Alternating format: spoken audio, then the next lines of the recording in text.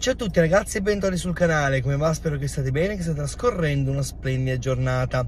Con la qualificazione al Mondiale Under 20, ormai cosa fatta, e in attesa di conoscere il proprio rivale per l'Europeo eh, Under 19, ovviamente in semifinale, ieri l'Italia è stata sonoramente sconfitta per 4-1 dalla Francia. Però un po' di spunti interessanti ci sono stati ed occorre fare qualche riflessione. Prima però di andare alla nostra questione, mi raccomando lasciate un like al video, iscrivetevi al canale e attivate la campanellina delle notifiche per rimanere sempre aggiornati sui contenuti che vado a pubblicare.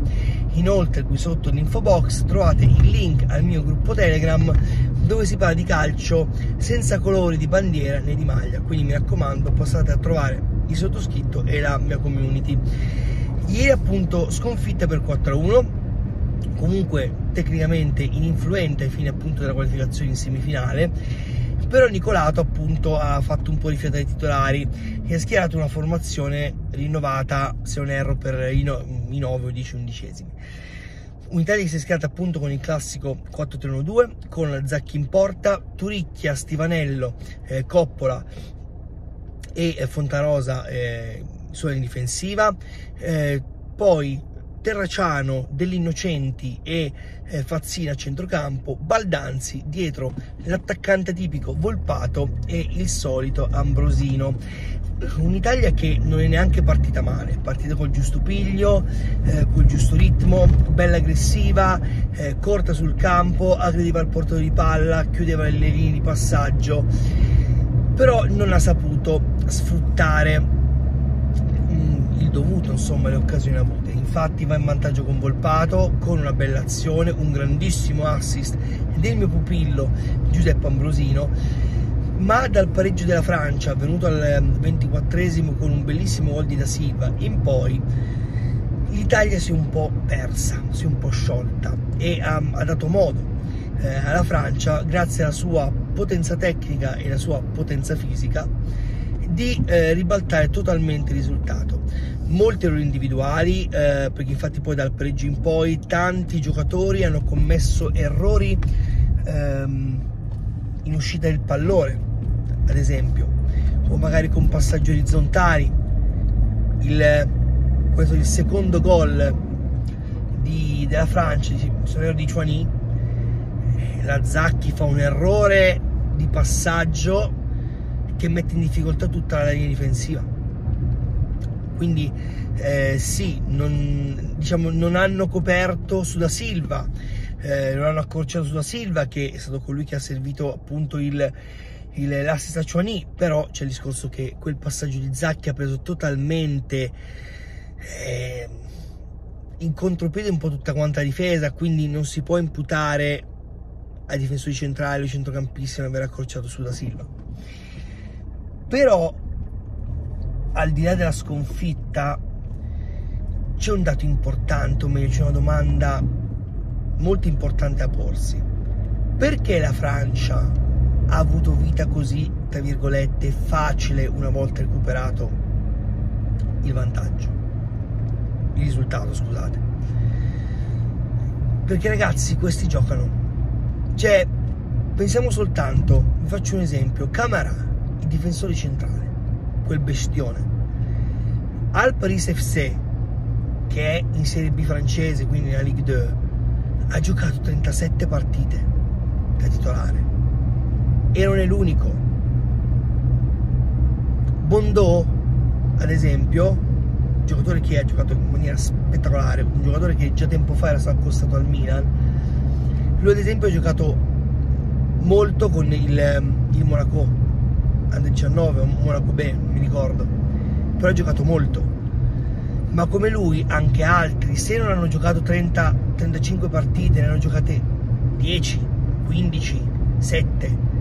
Rari i casi che hanno giocato meno di 5-6 partite in, in, in Ligan. Noi invece, ragazzi, che abbiamo? Ma che abbiamo? Coppola che un 2003 dell'Elas Verona, ormai inserito eh, l'anno scorso a Tudor in prima squadra, speriamo che ci offici punti, ma ha visto pochissimo al campo. Poi Baldanzi sostituito l'ultima giornata, degli innocenti, grande talento di Empoli, ma bah. Ambrosino, ragazzi, Ambrosino, Ambrosino. Io dico, ma Napoli no, ha perso Insigne e va bene, va bene. Ma perché concentrarsi su Deulofeu e spendere 18-20 milioni di euro? Non dico che Ambrosino sia, potrebbe, potrebbe essere insomma il sostituto di Insigne ad ora, ma buttiamolo dentro, puntiamoci sul ragazzo perché vale da attaccante, punto centrale intendo, da esterno e da ehm, diciamo trequartista. Meglio, come esterno solo tre quarti, ma anche come in un, in, un, in un attacco a tre. È un giocatore che c'ha visione di gioco, che ha voglia, che c'ha intelligenza, è pronto. E facciamo un, un errore a dire, eh ma è giovane. Ragazzi, ha 19 anni, sì, è giovane, ma teniamo conto che la carriera di un calciatore non dura 34 anni. A 19 anni c'è gente che aveva già ben conquistato la titolarità. Del Piero a 20 anni ha messo in discussione Baggio. Totti a 16-17 anni è stato con la Roma.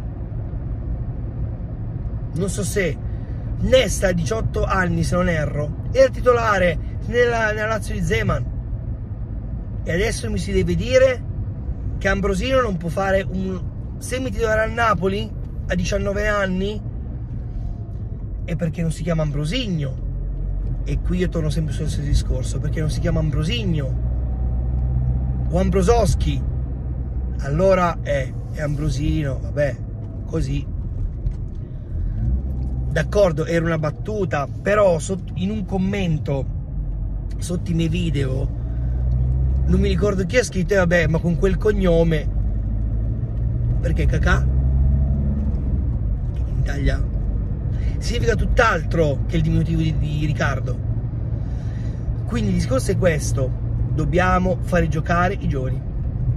E il, il, il problema di ieri contro la Francia era che in attacco avevamo un Ambrosino che non ha mai visto il campo in A, un Volpato che dopo il gol, non mi ricordo anche contro chi, in Serie A dopo l'esordio, il campo è nel dimenticatoio.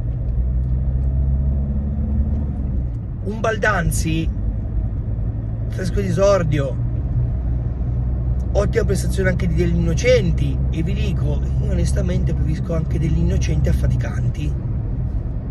Un po' più di geometria velocità di, di, di pensiero. Coppola anche un ottimo difensore centrale deve crescere eh? perché a volte ieri avrebbe potuto intervenire ehm, è stato un po' troppo indietro a volte si è fatto un po' troppo attirare dal, dalla palla piuttosto che seguire anche con il, la visuale periferica anche l'avversario. Però come si eliminano questi difetti? Giocando, mettendo questi giovani alla prova e non lasciarli marcire in panchina in Serie A oppure in, nei campionati primavera che sono partite di ragazzini oppure assimilabile a scapoli ammogliati, perché il livello probante è zero. E benvengano le squadre B o Under 23, benvengano e io spero che sempre di più, oltre a Juventus, di squadre investano sul progetto. Perché voi pensate che un Filippo Dellicarri qualunque, per quanto io conosco il ragazzo ed è un ragazzo valido, avrebbe mai giocato in Serie C se fosse rimasto non lo so, al Pescara o, o in altre realtà. O cominciava magari con i vari prestiti, B, e C, D, interregionale. Invece per Delicarri si parla già del Como, classe 99. Nel suo piccolo Juventus Under 23 ha contribuito e non solo per lui. Quindi benvengono le squadre under 23 e facciamo giocare i giovani perché dopo verremo sconfitti dalla nazionale under 19 o under 20 o under 21 X soltanto perché i loro, gioc- i loro giocatori giocano di più dei nostri. Quindi togliamoli dalla naftalina e torniamo alla filosofia del Manchester United di Ferguson quando vi fu la generazione dei nati al 73-75 Giggs, Beckham, Scholes, Nicky Butt, Gary Neville, Finn Neville. Se mi scordo qualcuno fatemi sapere qui sotto nei commenti. Spero che vi sia piaciuto. In tal caso ci dovete leccare il video iscrivetevi al canale attivate la campanellina e passatemi a trovare sul gruppo telegram. Vi mando un bacione e ci vediamo al prossimo video. Ciao ragazzi